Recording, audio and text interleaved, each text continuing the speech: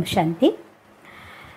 പലപ്പോഴും മക്കളെ എല്ലാ അച്ഛനമ്മമാരും ഒരുപോലെ സ്നേഹത്തോടെ ലാളിക്കുകയും പാലിക്കുകയും വളർത്തുകയും ഒക്കെ ചെയ്യുന്നത് കാണാം. എന്നാൽ ചില മക്കളുണ്ടല്ലോ അച്ഛനമ്മമാരുടെ ശ്വാസം മുട്ടിച്ചിട്ടേ അടങ്ങും. ചില മക്കൾ അച്ഛനമ്മമാരുടെ പേരിനെ പ്രസിദ്ധിയെ വാനോളം ഉയർത്തി. സ്നേഹം കൊണ്ടും സന്തോഷം കൊണ്ടും വിനയം കൊണ്ടും സുഖം മാത്രം കൊടുക്കുന്ന മക്കൾ ചില മക്കൾ യാതൊരു കൺസേണും ഇല്ലാതെ വളർന്നു വരികയും അവരുടെ ലോകത്തേക്ക് അവരുടെ സമയമാകുമ്പോൾ ചിറകടിച്ച് പറന്നു പോവുകയും പക്ഷിക്കുഞ്ഞുങ്ങളെ വളർത്തി പുറത്തിറങ്ങിക്കഴിഞ്ഞാൽ പറന്നുപോയ പക്ഷിക്കുഞ്ഞിന് അമ്മ ഏതെന്ന് തിരിച്ചറിയില്ല. അതുപോലെ ജീവിക്കുന്നവരെയും കാണാം. പലപ്പോഴും മാതാപിതാക്കൾ മക്കളെ സംബന്ധിച്ച് ഓർത്ത് വിഷമിക്കുന്നതും നമ്മൾ കാണാറുണ്ട്. എന്നാൽ ഇന്ന് നിങ്ങൾക്ക് അതിന്റെ രഹസ്യത്തെക്കുറിച്ച് പറഞ്ഞു തരാനും. അതിനു മുന്നേ ഞാൻ ഒരു കാര്യം നിങ്ങൾക്ക് ആദ്യം പറഞ്ഞു തരാൻ ആഗ്രഹിക്കുകയാണ്. എന്റെ ലൗകികത്തിൽ എന്റെ അമ്മ എന്നും പറഞ്ഞു കേൾക്കുന്ന ഒരു ചൊല്ലുണ്ടായിരുന്നു മക്കളെ കണ്ടും മാമ്പൂ കണ്ടും കൊതിക്കരുത് എന്ന്. എന്റെ അമ്മയ്ക്ക് ഒൻപത് മക്കളുടെ അമ്മയായിരുന്നു എന്റെ അമ്മ. അമ്മ എപ്പോഴും പറയും എന്റെ മക്കളെ വളർത്തുക നല്ല നിലയിൽ ആക്കുക അതെന്റെ കർത്തവ്യമാണ് അവർക്ക് നല്ല സംസ്കാരത്തെ പകർന്നു കൊടുത്തുകൊണ്ട് ശ്രേഷ്ഠമായിരിക്കുന്ന മക്കളായിട്ട് വളർത്തിയെടുക്കാനായിട്ടുള്ളത് എന്റെ കർത്തവ്യമാണ് എന്റെ കർമ്മം ശരിയാണെങ്കിൽ ജീവിതത്തിന്റെ അവസാന നിമിഷം വരെ എനിക്ക് കിട്ടേണ്ട സപ്പോർട്ട് എന്റെ കർമ്മമാണ് എന്നെ സപ്പോർട്ട് ചെയ്യുക അതെനിക്ക് കിട്ടിയിരിക്കുമെന്ന്. തീർച്ചയായിട്ടും എല്ലാവരോടും ഞാൻ ആദ്യം അത് തന്നെ പറയട്ടെ. നമ്മുടെ മക്കളെ വളർത്തുമ്പോൾ അവർക്ക് സ്നേഹവും പാലനയും കൊടുത്തുകൊണ്ട് സമൂഹത്തിന് താങ്ങും തണലുമാകുന്ന രീതിയിൽ മക്കളെ വളർത്തിയെടുക്കുക അത് നല്ല പേരൻസിന്റെ ഉത്തരവാദിത്വമാണ്.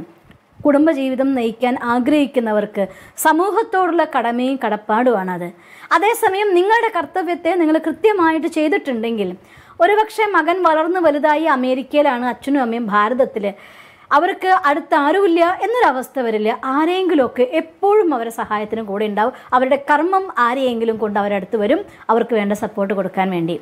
അതുകൊണ്ട് ഇന്നലത്തെ ആധാരത്തിൽ ഇന്ന് മക്കൾ വന്നിട്ടുണ്ടായിരിക്കാം. പക്ഷെ ഇന്നത്തെ ആധാരത്തിൽ നിങ്ങളുടെ ഫ്യൂച്ചർ ക്രിയേറ്റ് ചെയ്യാൻ നിങ്ങൾക്ക് പറ്റും. അത് ഞാൻ ഒന്നും കൂടെ ഊന്നി പറഞ്ഞുകൊണ്ട് നിങ്ങൾക്ക് മുന്നോട്ട് ഈ ടോപ്പിക്കിനെ കുറിച്ച് പറഞ്ഞു തരാൻ ആഗ്രഹിക്കുകയാണ്.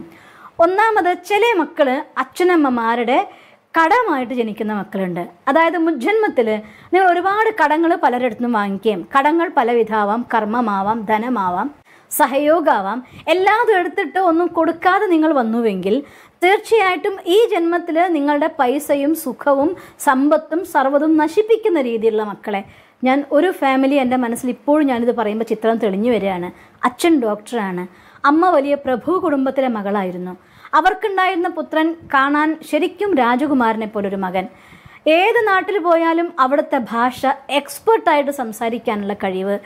പഠിക്കുന്നതിലൊക്കെ തന്നെ തൊണ്ണൂറ് ശതമാനം അതിൽ മേലെ മാത്രം മാർക്ക് വാങ്ങുന്ന ഒരു മകൻ. പക്ഷേ ആ കുട്ടിക്ക് ലഹരി പദാർത്ഥങ്ങളുടെ അടിമ. എവിടെ പോയാലും എന്തെങ്കിലും ഒരു ലഹരി പദാർത്ഥം കഴിച്ചങ്ങനെ ബോധമില്ലാതെ കിടക്കുകയുള്ളൂ. അവസാനം അച്ഛനും അമ്മയും കണ്ണീര് വന്ന് സഹി കെട്ട് മകനെ വീട്ടിൽ നിന്ന് പുറത്താക്കുകയാണ്. നീ എവിടെയെങ്കിലും പോ ജീവിക്കുക എന്ന് പറഞ്ഞുകൊണ്ട്. എന്നിട്ടും ആ മകൻ നന്നായില്ലായിരുന്നു. അവസാനം ബാംഗ്ലൂരിലെ ഏതോ ഒരു സ്ഥലത്ത് മകനെ കൊണ്ടാക്കി അവർ കൗൺസിൽ ചെയ്തു റെഡിയാക്കി ഓൾമോസ്റ്റ് നല്ല മകനായിട്ട് മകൻ ജീവിതത്തിലേക്ക് തിരിച്ചു വരുന്ന ദിവസം അച്ഛൻ മരിച്ചു. അച്ഛൻ മരിച്ചു വെറും മൂന്ന് മാസം കഴിഞ്ഞപ്പോൾ മുപ്പത്തി അഞ്ച് വയസ്സ് മാത്രം ഉണ്ടായിരുന്ന ആ മകനും ഹാർട്ട് അറ്റാക്കായിട്ട് മരിച്ചു. വിശ്വസിക്കാൻ പോലും പറ്റില്ല ആർക്കും. മൂന്ന് മാസം നല്ലവനായിട്ട് അമ്മയുടെ കൂടെ ജീവിച്ചു. അച്ഛന്റെ സമ്പത്തിനെ കോടികൾ നശിപ്പിക്കാൻ വേണ്ടി ഒരു മകൻ ജനിച്ചു വന്നു കണക്ക് തീർത്ത്.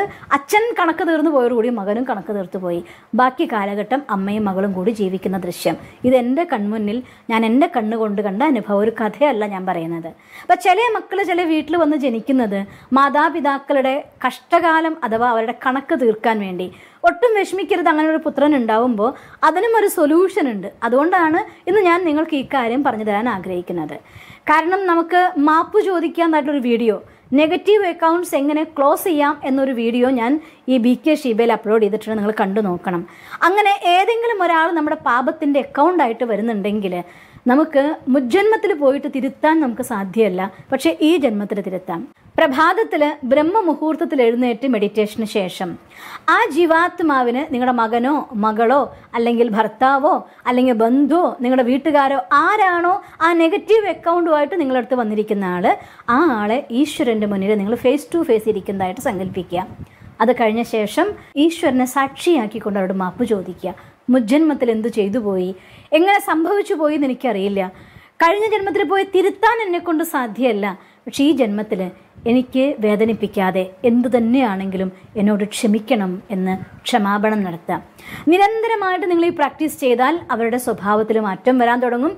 ആ കർമ്മിക് അക്കൗണ്ട് ബേൺ ആയി പോവാൻ തുടങ്ങും. നിങ്ങളുടെ ജീവിതത്തിൽ നല്ല ദിവസങ്ങൾ വരികയും ചെയ്യും.